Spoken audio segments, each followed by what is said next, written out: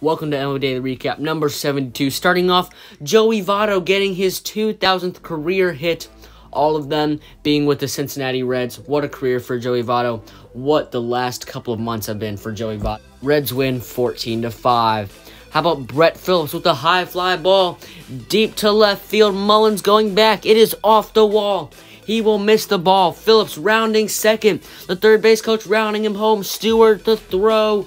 The throw to the plate, not in time. Brett Phillips will get an inside the park home run. Rays win 9 to 2.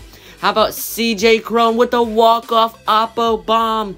Rockies win it. CJ Cron is amazing right now. Rockies win 6 to 5. Freddie Freeman with a line drive homer to right field in Miami. Braves win 12 to 2.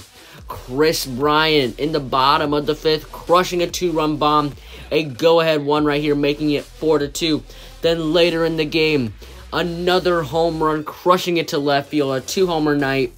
Giants win 7 to 5. Thank you all so much for watching, and I will see you guys next time.